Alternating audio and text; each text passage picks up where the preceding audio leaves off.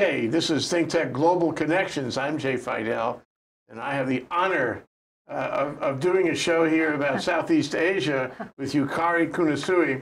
She just came back. Hi, Yukari. Hi. Thank you for bringing me here. Yeah. And I love the map behind us. Yeah. It shows exactly where I was. Yeah.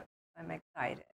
Well, I mean, this is, you know, it's a special cachet sort of thing, and I feel that you know a lot of people have been in Japan and China, Korea, all that, Taiwan, maybe, um, and Australia, New Zealand, and maybe Malaysia and Indonesia, maybe, but mm. Southeast Asia, these countries on the peninsula there, they're very interesting, and I also feel, and maybe you will join me in this, that they're um, they're not going to stay that way.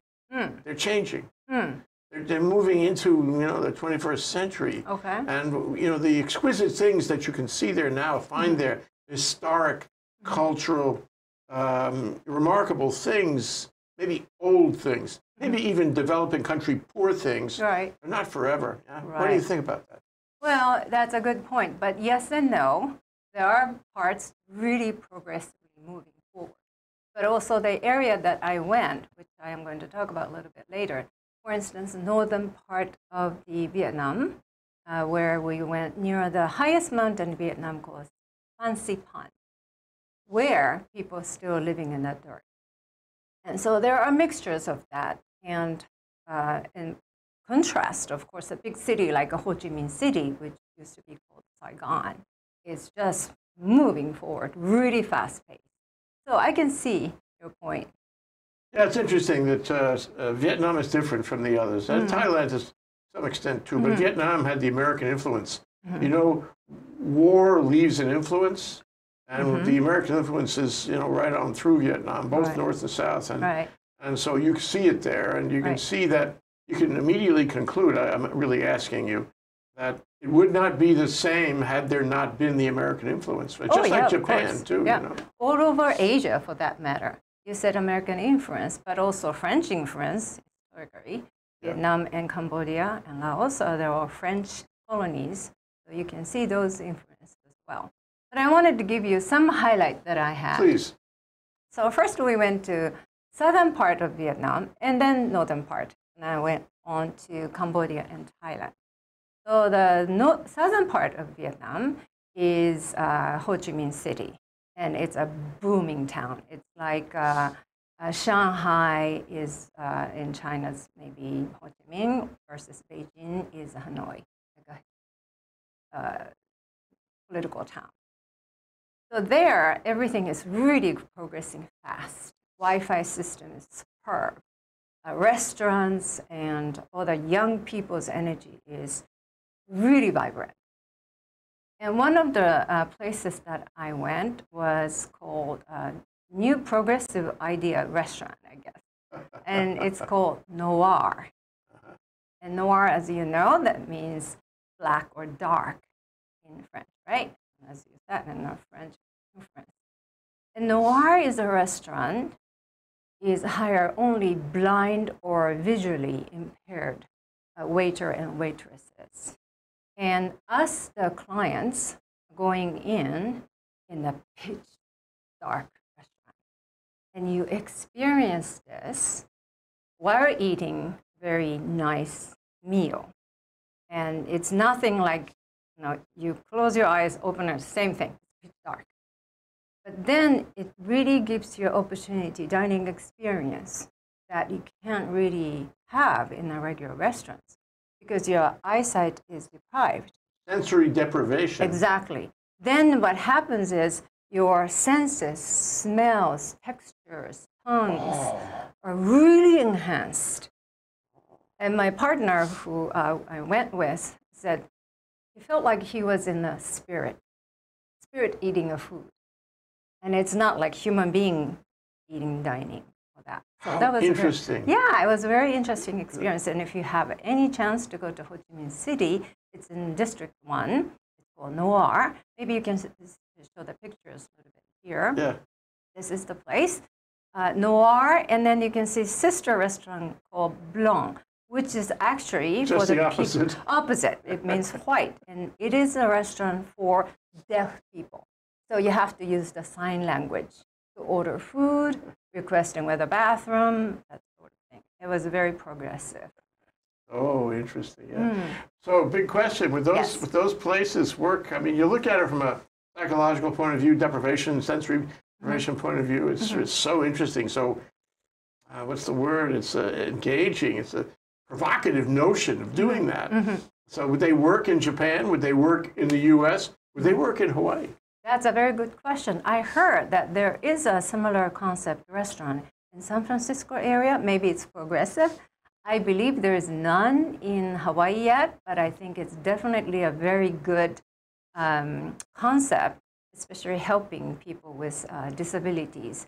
And as you can imagine, it's very hard to find uh, employment, but they provide um, good training and also give uh, regular clientele uh, more, how do you say, experience what it's like to be in disability.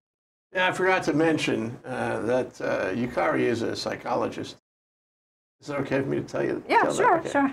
And so she sees the world through the lens of psychology. It's different than regular people, you know. okay. I am not a regular person. So right. what's the profile of, of the Vietnamese these days? Those kids, for example. Right, uh, what are they like? Can you def- describe them? very vibrant, very hungry, very motivated. They want to learn Japanese, they want to learn English, they want to go outside the world. Oops, not quite yet. This picture is actually moved on. This is the picture from the northern part of Vietnam. Uh-huh. Uh, it's called Sapa area, mountain rural town. Let's look again. Yeah, let's look again. And this uh, particular picture was taken at the center of Sapa town. And these uh, people are wearing very uh, colorful Hmong, H O H M O N G, Hmong people. This is another kid. Boy, those kids are cute. They're cute, and they look like I don't know if you can notice, but quite different from Vietnamese features. They're more basically um, Chinese descendant, but they are between uh, China's and Vietnam's border, and they're left in very basic lifestyle. Maybe you can show the next picture with. Um, Yeah. Okay, so you can see this is the local uh, house that we had a lunch, and he, she's still cooking in a dirt uh, floor house, living with buffaloes and chickens and all that kind of thing. It's like a Hawaii some time ago, right? But she's cooking an excellent meal there, and you have only one oven like that on the uh, floor. The magic that you can get with a cell phone camera. You told me this was a cell phone camera. Well, It's yeah. unbelievable, huh? well, I'm not very good. Talking about cell phones, in this northern part of uh, Vietnam, we uh, decided to do trekking. And as I said, this is the area that originally came from China, and the rice is a big deal. And so you can see terrace uh, rice fields here. And a lot of people are walking up and down these terrace fields, right? The trekking has to be done through the guide. And so we hired a guide from an organization called Sapa Sisters. And interestingly, guides are girls. And they were wearing this really colorful, the picture that I showed you, uh, outfit. And they move around like a goat. And we were going, uh, but they're living in this very ba- basic sort of ancient lifestyle. Yet those Sapa girls had this iPhone coming, bringing it out, and they were very progressive. Yeah. So the contrast was very All over the world, isn't Oh it? yeah, oh yeah. And you know, iPhones, smartphones in general, they signify one thing Facebook. Mm-hmm. I, I, I bet these kids, these people were on social media just the way we are now, Right, if right. not more. Oh yeah, it's definitely everywhere. Maybe you can show the second picture here. What else we have? We had uh, me talking to this Hmong lady. She is about 50 something, and she showed uh, her. You see the background photo that I think that was her daughter's picture, and she was very proud. She was a widow and raised seven children on her own. Some of them became guides, making some money, foreign money bringing in. So she uh, was a happy lady. She actually served us this happy water, called. Happy water. Happy water was happened to be a, a alcohol. it was enjoyed. Did you like Vietnam best of the places you visited? I wouldn't say best because each place has unique uh, features and unique history and unique ambiance, I think. And because we were in big cities and small town, also Hanoi we went. I liked each place. Yeah. Well, I could see you were getting out there in the in the uh, in the rural areas Right, and right. enjoying whatever is there because that's the true culture. That's where it all comes from. I think so, but it's still touristy. I was just a tourist, so it's nothing like I was, uh, you know, Yeah. in PO or NGO or anything like that. But it's just you get the glimpse of it. Before the break, why don't we Mm-hmm. talk about one more country Okay. in, in your trip? Okay. Mm, very quickly, then I went to Thailand, Chiang Mai, because of the Lantern uh, Festival. Uh, but we ended up uh, not staying in Lantern Festival because Lantern Festival, Hawaii has that in Ala Moana too, right? It goes to the ocean. But this Lantern Festival, the, the lantern goes up because of their Above the Above, streets. yeah. but because of the going up, coming down, it caused some accidents and so fires and stuff. so Oh, government no. decided not Terrible. to do this. But I had a very ex- interesting experience. And how much time do I have here? Because I want to talk about interesting place. Well, let's let's move on. Whatever comes to mind. Okay, you okay. know. So I chose to go to this massage center, and I'm sure our viewers know Thai massage. Very unique. Famous, world famous. Oh yeah, Some, it's some, like some ah. men go without telling their wives. Well, my place wasn't like that. And so Thai massage is originally, you might have heard that I came originally. Oh, this is the picture that she's doing uh, Thai massage. Ayurveda, Indian uh, medicine science. That was the origin I heard. And sometimes people call this one two persons yoga. Okay, so you can see this one. So maybe, I don't know if you can see the sign. It says Women's Massage Center by ex prisoners. Oh, So these ladies were actually inmates or war, war inmates before. oh. And so this is a part of the employment enhancement program. And as you can see, once you are imprisoned, uh, it's very hard to find employment after you come out. So they ended up repeating the same type of thing. So in Thailand, women prisoners are um, 80%, I heard, is drug related amphetamine and cocaine and setting drugs. Becoming strict about it. Right, and they became very strict about it. So women prisoners are ever increasing. and they come out, there's no job, go back out, in again, in and out, Oh, like yeah, that. yeah, yeah. Yeah. So this helps them break the, This break helps the circle. them. Yeah. And as I said, two person yoga, it's not only the person who receives massage, but also masseuse is being healed. So that's the kind of uh, reciprocal kind of healing modality I heard. So that was very interesting. What's what's your profile? Your profile of the Thais. What are they like? Mm, what, as you mentioned, it's much more middle class compared to south, northern part of Vietnam or Cambodia that I went. Uh, I felt, well, price wise, it's a little bit more expensive, and people are much more affluent, it looks like. Ah. And, and because of the political stability, more or less, compared to other countries, people seems to be a little bit more relaxed. There, there, there is a certain amount of affluence. Oh, yeah, I remember all the shops, extraordinary shops, Mm, yeah. and uh, and uh, shopping centers and and trains and subways. I mean, not subways, elevated railways. Mm-hmm. Right. Maybe Bangkok and a big Bangkok, city yeah, like, that was like that. extraordinary. Chiang is a little bit of different because it's a northern, uh, old ancient cities with lots of temples and all that. But I can feel, and also the tourists tend to go to the southern part of uh, Thailand, which is more uh, affluent because of the tourist money, foreign money coming in. Before we go to this break, I will tell you a short story about a fellow who gave a, a talk at the China seminar a few years ago. And he, uh, he left uh, New York, where he was born and raised, and he went to China in the early days. And he slipped into China, drove a taxi cab. He managed to became, be able to drive a taxi cab in, in Shanghai. Huh. And he did that for a couple of years and, until, uh, and he learned Mandarin. Yeah? Wow. Um, and uh, he, did that for a couple of years until they caught up with him and they said, You're going to have to leave. You can't stay here. He said, Where shall I go? And they said, Well, why don't you go to Taiwan? You know, you can, you know, use your Mandarin in Taiwan and everything. He says, uh, Well, I can't go to Taiwan. I don't speak Thai. Wrong tie, Okay, dear. on that note, Wrong We're tie. going to take a short break. Aloha, Stan Energy Man here. You can see me every Tuesday at 3 p.m. here on Think Tech Hawaii.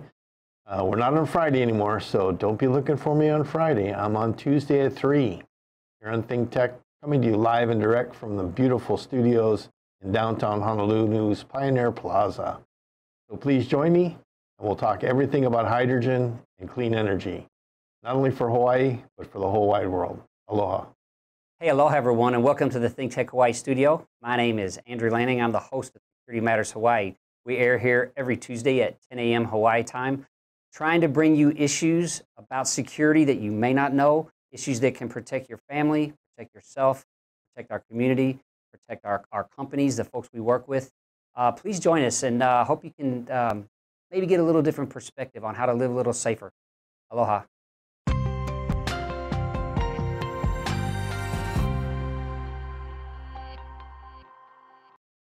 Yeah, we're back in Southeast Asia.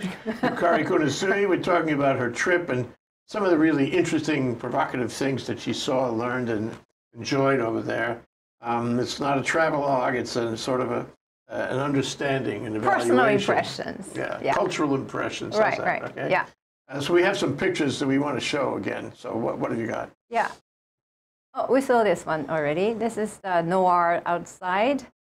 Uh, it's a restaurant that I described in Ho Chi Minh City. Used to be called Saigon, as you know.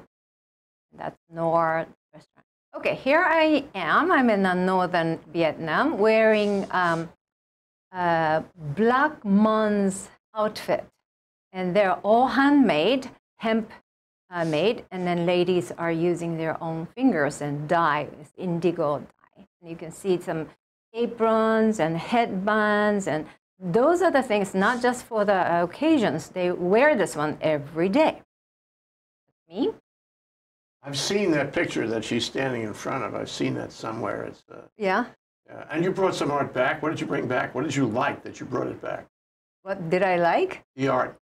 What, what is it? You brought some art back? No, I did not. Ah. I just impression is back Oh, and okay, the okay. photos back. So what was your impression? What did you like about it, you know, that made it special? Made, made you take the picture, for example? Uh, well, it's really uh, kind of nostalgic, to be honest with you. I remember my great grandma making things, and maybe not in exactly the same way, but we used to make things in handmade, not store kind of. Yeah. So that made me feel like, wow, we used to live like this. And that's what I really liked about yeah, most. Yeah, yeah. I, I, you know, the, the art, uh, the design points, you wouldn't see them generally Mm. Right. in the U.S. You wouldn't see them in Hawaii, even though Hawaii is largely an Asian Mm-hmm. place. And so that's, you know, travel is broadening. Right, definitely. And and one thing I wanted to offer you and see your reaction is Mm-hmm. this: it's it's more than just that you learn stuff. Right, It's that you have ideas you never had before. exactly. You put things together like the noir and blanc thing. Right, Um, right. You know, somebody watching this might decide to do the same or try the same Yeah, please here, do, I think. You know, So, like you said, to me, traveling is, yes, superficially speaking, you're seeing other world, other parts of the world, but it's actually seeing yourself.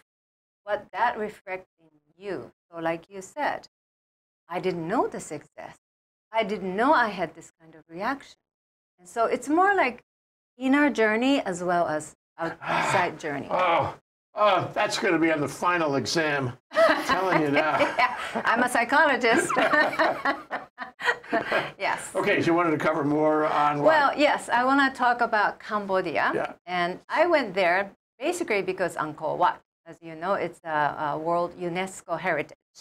And you've probably seen the pictures. I didn't bring the picture today, but you know, very famous uh, sunrise from this uh, Hindu, originally Hindu or Buddhist temple.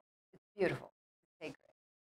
Um, and also there are a couple, it, this town is full of temples. So you get templed out. Um, so temples were impressive. Uh, all the Buddhist images. But to me, most impressed part is the recent history of Cambodian people, which was I was still I was already high school, I think, in 1970s, and they were suffering. This is right after uh, American left. Uh, we call Vietnam War, but in Vietnam they call American War, as you can see. So Yeah. after that, the balance of the Asian region has really changed. In Cambodia, previously a communist uh, labor party uh, led by Pol Pot, the name of the leader, it became very powerful and tried to re-educate all the city dwellers and intellectuals, just like China did. And what they ended up doing was not, since 1975 to 79, only for four years, they managed to kill two million Cambodian people. Their own people. Own people. It's like ethnic cleansing, except it's your own people. Exactly. and this is uh, hard to believe. And in 80s, you probably remember that there was a, a movie called Killing Field. And I think it was a British movie. Uh, and recently, Angelina Jolie uh, made a movie based on the true story called First They Killed My Father, which uh, was made in 2016, I think. Yeah. I highly recommend if you're interested in this area or this region or history, and it's just. It's crazy massacre. Yeah. And I personally experienced meeting Cambodian people who remembered uh, Sure, it wasn't that long ago. No, it is. No, if you're 50s, they remember. Yeah. Uh, you know, I was a teenager. I was Yeah. a little kid, and many of the Cambodian people do have relatives and friends and neighbors who are Muslim. So that was a big scar as a tribe. But you know, you must ask. I mean, anyone not from Cambodia going to go to Cambodia know about the killing fields Mm-hmm. and Pol Pot and all that, which is still a subject of great discussion, Right. of international interest. Right. Try to figure out what really happened.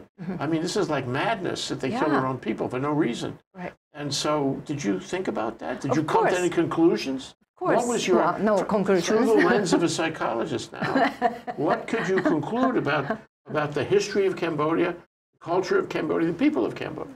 Well, I don't have conclusions, but what I could observe was obviously we can be cruel as much as anybody else can be to us, and that this happened to happen in this political ideas. It can just change the brain function. I It's think. part of the human condition. Then. yes, yes, And although ultimately we recover our sanity, there are moments in human history when we mm. are not mm. sane, yeah, right, and that happened. right. Yep. Yeah.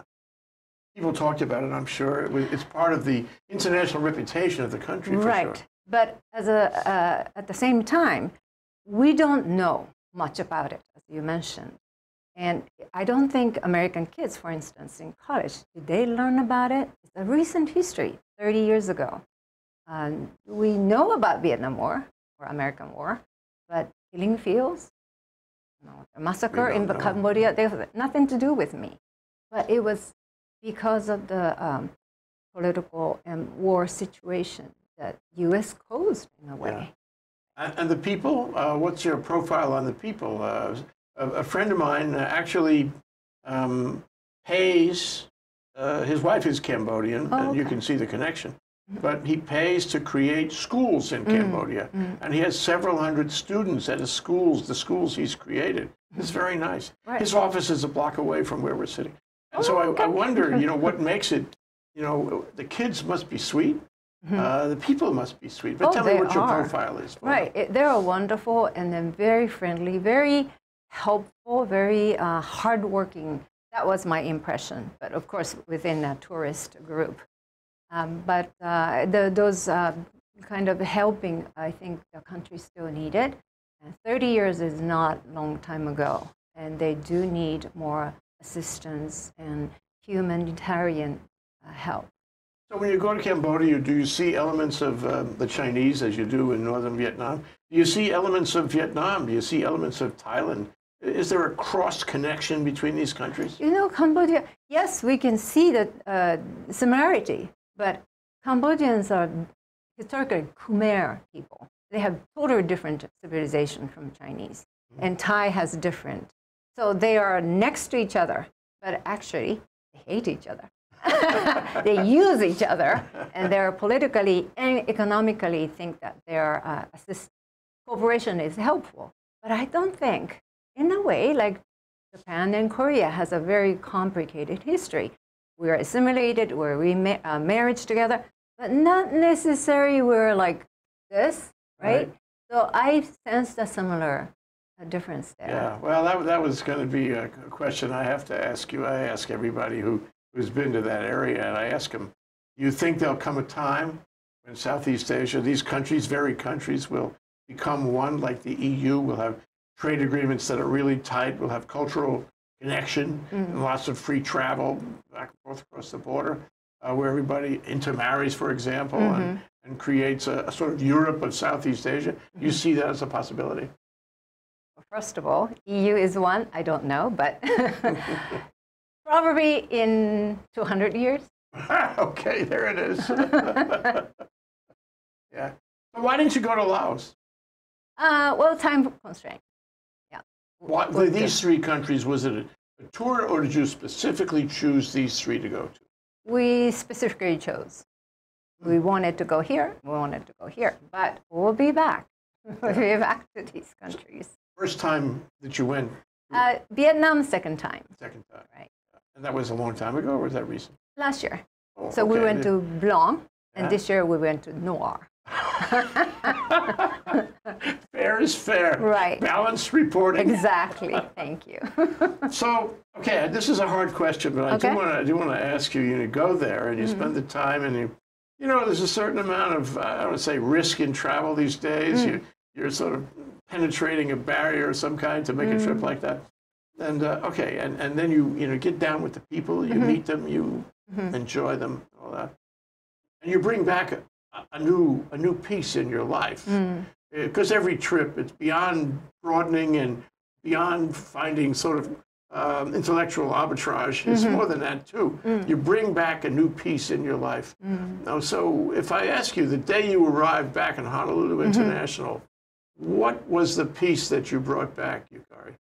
Mm, well, as you all experience, when you arrive in Honolulu International Airport, you look up the sky and go, God, so beautiful. so that was my first impression.